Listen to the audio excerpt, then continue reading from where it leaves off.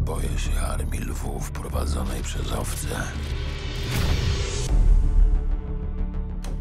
Boję się armii owiec prowadzonej przez lwa. Nie zbudują nam pomników, tylko groby.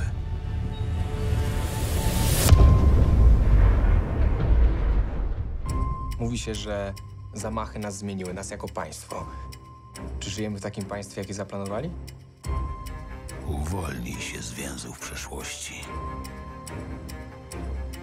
Nie pozwól, by cię prześladowała. Zniewoliła.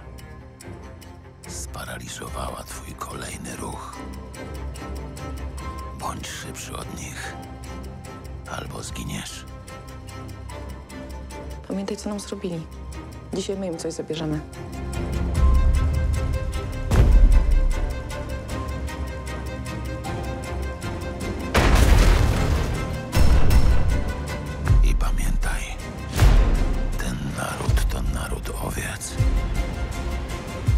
potrzebują.